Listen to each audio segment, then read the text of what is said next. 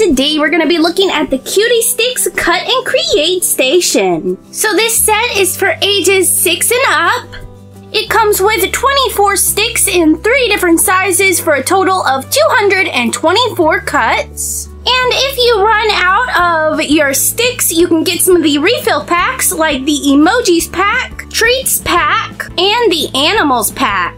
So with this pack, we are able to create some animal figures, nail art, bracelets, and necklaces. So here is what the back of the box looks like. So let's go ahead and open it up. So the first thing that we get in the box is our storage station.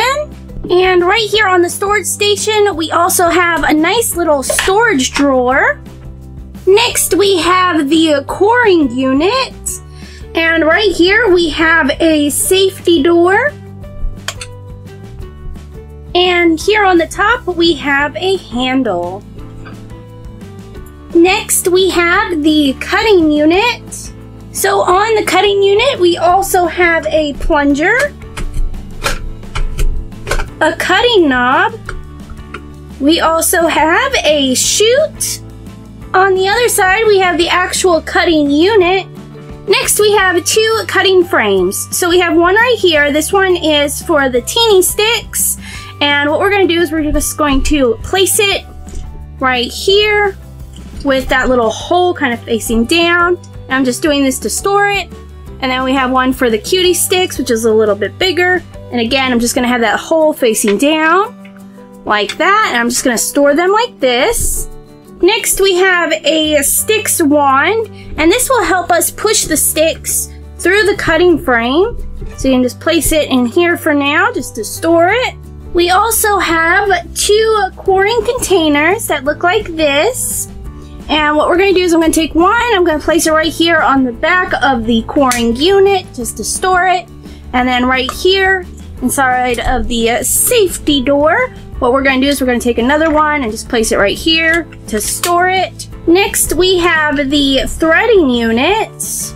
Next, we have two spools of thread, and we have one in pink and one in purple. Now, everything else that we have today is going to go into our storage station. So we have some adhesive dots, and these are for your nail art. And I'm just going to go ahead and separate these strips here.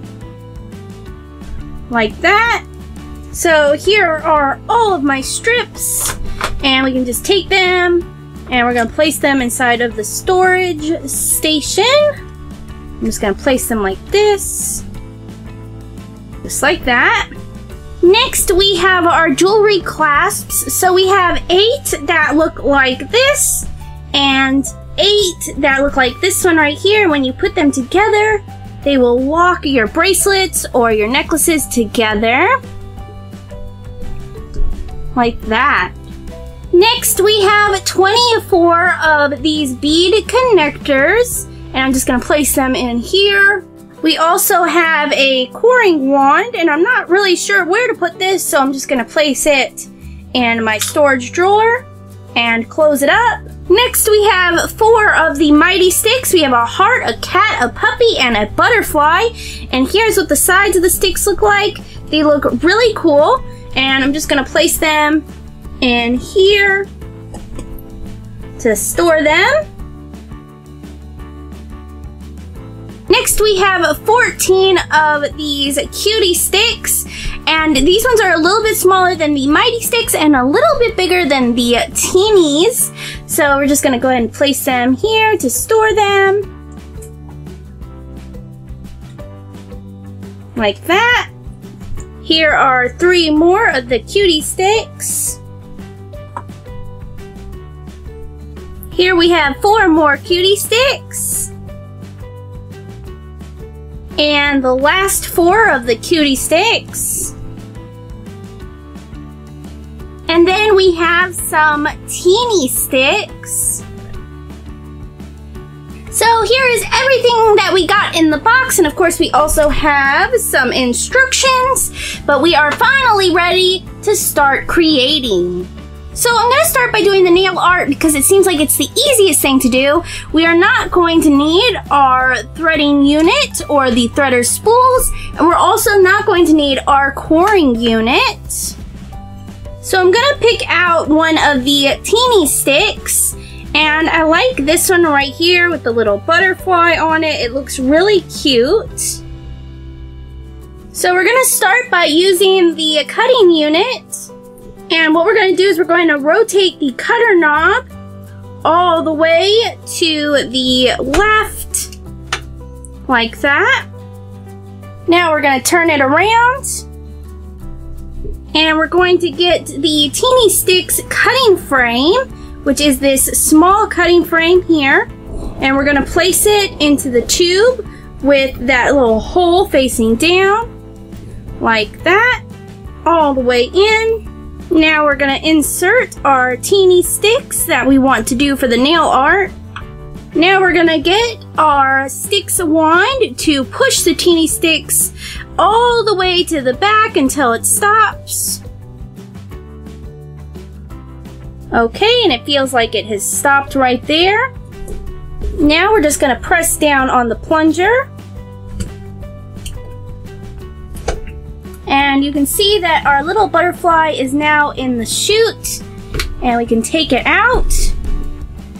And here is what it looks like. Oh my goodness, it is so teeny tiny. So we're gonna try that one more time. I'm gonna press my little wand until the stick stops.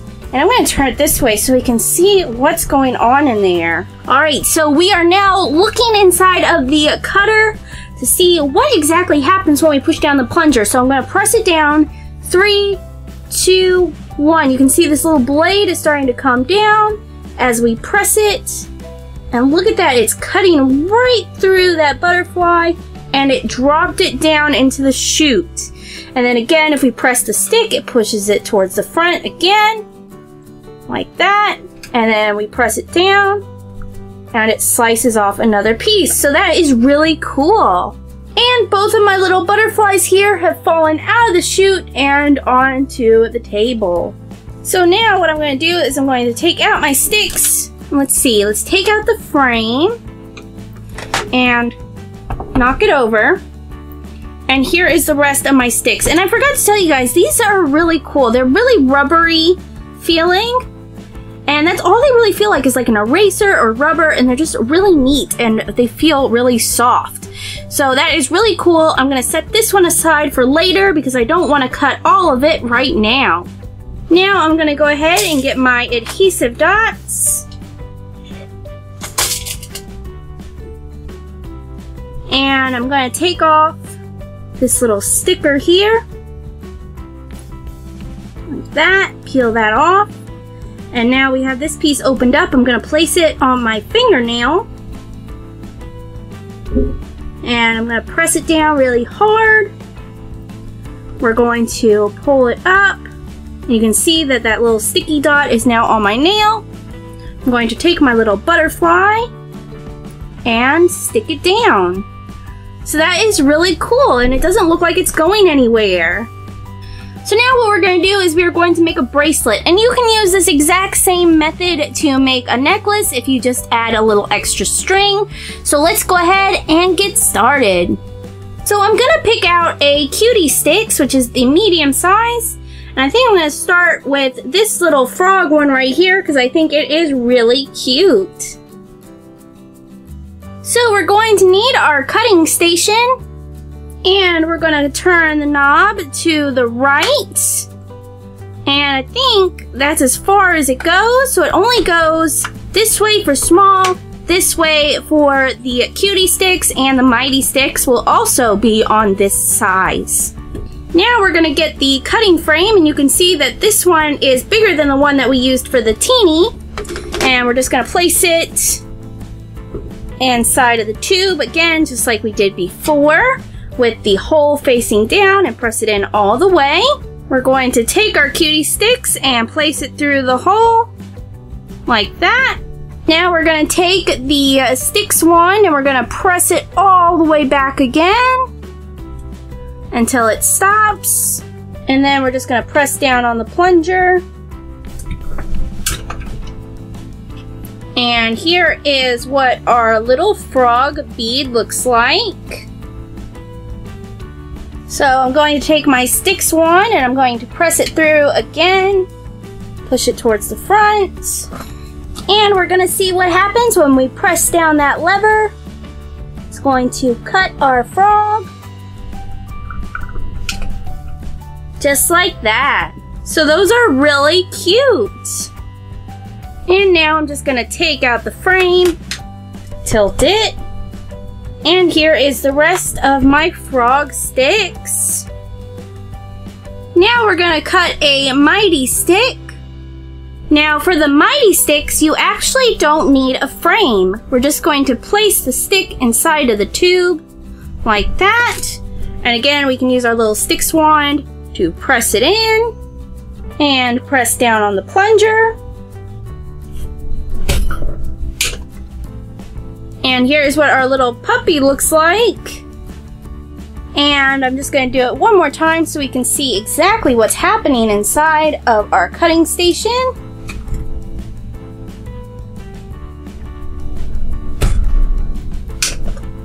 And those are really adorable. So here you can see the different sizes of the sticks that we have. We have a Mighty Stix, a Cutie Stix, and then the Teeny sticks, which is just used for nail art. So now what we're going to need to do is core our beads. So we have the two different coring containers. So let's go ahead and open up the safety door. Take that one out and the other one from the back here so I can show you the difference between these two containers. So you can see here that we have two different sizes. We have one that fits the Cutie Stix and one that fits the Mighty Stix. So I'm to start with the Cutie Stix one. So I'm going to take my frog and I'm going to place it inside like that and close it up. So there are two different ways that you can cut your bead. You can do it through the center core right here, but that will cut right through our frog's face. So I don't want that to happen. We also have the sides that we can cut through, which I think is best for these because that way we don't mess up the face. So we're gonna open up the safety door like that. So now we're gonna figure out exactly how we're going to core our little bead. Now, we are going to either choose to place it in this way to core through the center. And when you're doing the coring through the center, you're going to want to make sure that this little hump right here is facing outwards. And you would put it in like that. But we are going to core through the sides. And again, we're going to want that hump facing outwards. And we're just going to place it through the side like this. Place it in and then we're gonna close up the door, latch it, and then we're just gonna press down the handle.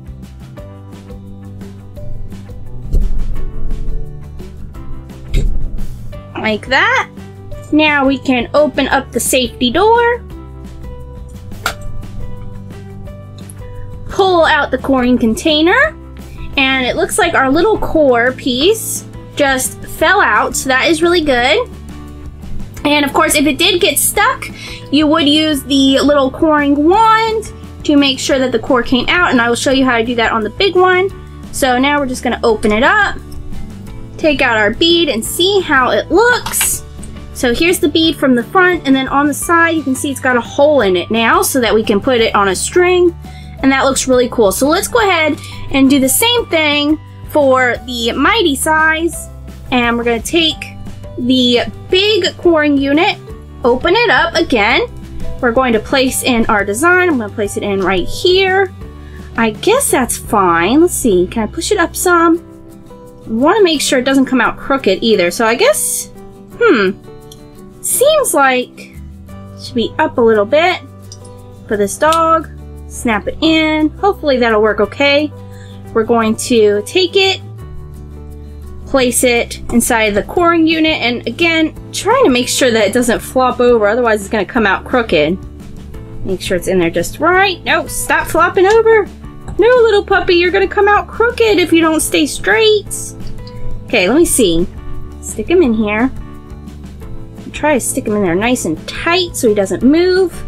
Like that. That looks good. He doesn't look like he's going anywhere now. That should cut just about straight. Place it in. There we go. He's not moving around now. Like that. Close it up. And then we're going to press the handle. So we're going to press it once. And I can see it kind of squishing him down in there too. Hopefully that doesn't mess it up too much. Let's see. Let it go. Now you can see it's not really popping back up because these ones are just so big. You gotta pull it up. And then we're gonna actually press it down a second time. That's what it says to do a second time. We'll see how it looks. See, hopefully it got him in the same spot. Let's see, open, open. There we go. Hopefully came out in the same spot. Let's see. Okay.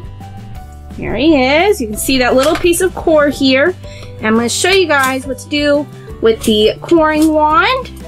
It's that little tiny one that kind of looks like a little key. We're to take it and we're to press. Yeah, you can see here it started to make a hole in his ear there when I did it a second time. Maybe not do it a second time. Um, might not need it anyway. If, as long as you're using this little coring tool, press all of that out. Good. Push it from the other side as well. And it looks okay. So here he is. You can see he's got a hole on one side and a little bit of a hole right here under his ear on this side. I don't think that you should try pushing it down twice. I mean, maybe you'd have to on some of them, but it just seems like it's gonna wiggle around in there and cause it to cause a second hole somewhere else. So from now on, I'm just gonna press it down really hard and hopefully it'll come out. And if it doesn't, I'll just use the coring tool. So before we actually start making our bracelet, I'm going to show you guys how to make a figure. So I'm going to do the same thing again with the dog. I'm going to save this bead for my bracelet. Here is the other dog that I cut. I'm going to do the same thing. I'm going to place him in here. Now it says for the cutie dog, you will have to do him twice, one tilted one way, like that. You see how he kind of tilts? Place him in there, like that. And I guess we're going to core him in one direction. Let's see. Close it up. And core him. Now, I, yeah, I guess I will just push it all the way through. We'll see what happens. I'm not quite sure how I feel about coring him twice. But we're going to try it. Now I'm going to take him out. And let's see, we're going to take out that little piece of core there. So that looks good, okay. And then we're going to put them back in. And for this one, we're going to turn them the other direction.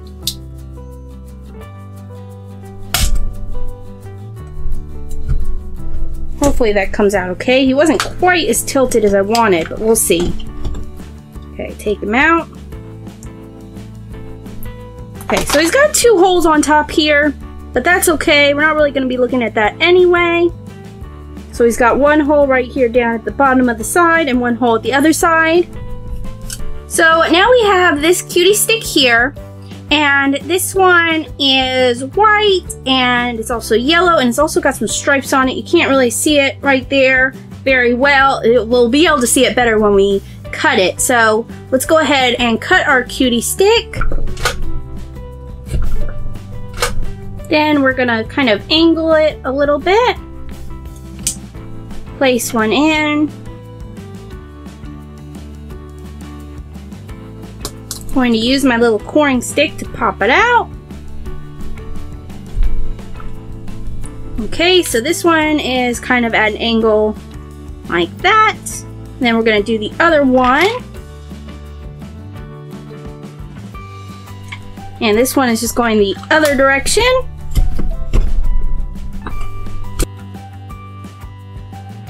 So here is the dog, and we're going to take one of these bead connectors, place one right here,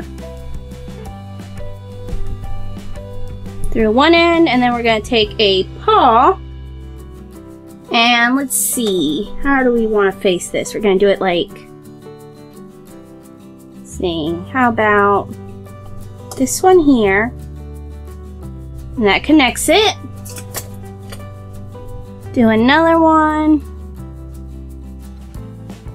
And there is our little cutie figure. Now, I did notice that the stripes are not showing up very well on the little paws.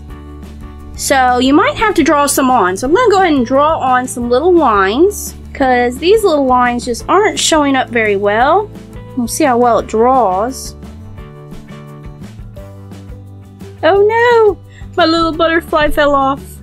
Come back! So that looks better. Now we still have these two beads for our bracelet, but this is not enough beads. So I'm just gonna go ahead and cut and get some more of our little cutie sticks ready to go. So here is every different cutie and the mighties, all with the holes punched out and they are ready to be placed on a bracelet. So what we're gonna do is we are going to get the thread tube and we are going to rotate it over here to a 30 degree angle like that. And then we are going to start taking our cuties and mighties and we're going to start placing them on the tube.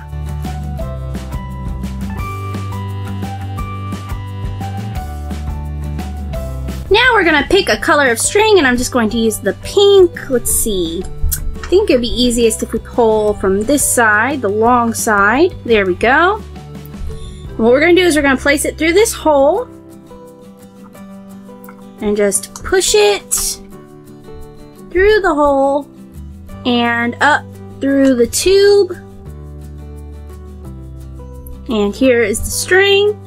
Now, um, I didn't have enough room on the tube for my wrist. I think I'm going to need quite a few more, so I'm just going to go ahead and place all of the cutie sticks and mighty sticks on here.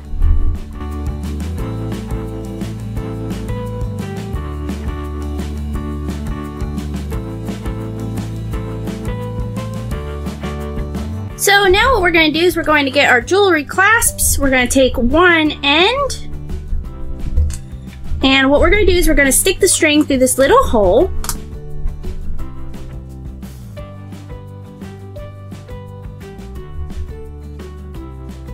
Okay, we're going to pull it through. And then what we're going to do is we're just going to tie a little knot like that. I'm to make another little tie here just to make sure that it's a nice thick knot. Okay. And then I'm going to cut that little bit off the end. And we're going to pull this all the way to this end.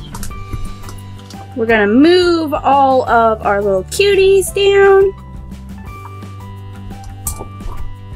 And do the same thing with the ones over here on the tube. Pull it. Okay, so they're all on here now. And then I'm just to cut a little bit here at the end.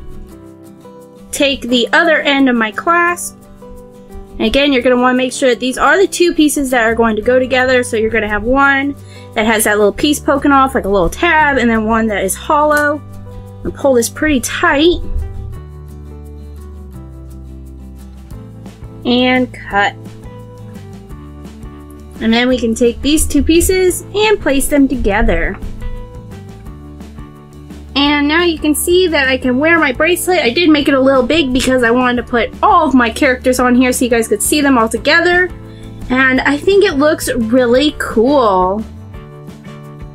Now when you're done and you want to pull your string back, you're just going to start turning it the other direction like this to wind it back up. And you can see that the string is starting to come back through the tube. We're gonna grab the end of the string, take it around and around, and then pull it like that so it's ready for our next one. Alright you guys, so what did you think of the Cutie Stix Cut and Create Station? I thought that it was a lot of fun. We learned a lot about Cutie Stix. I can't wait to see some more Cutie Stix kits that they come out with because they are just so cool and so cute. So let me know what you guys think down in the comments. And if you guys like this video, don't forget to like, subscribe, comment, and stay tuned for more Cutie Stix videos.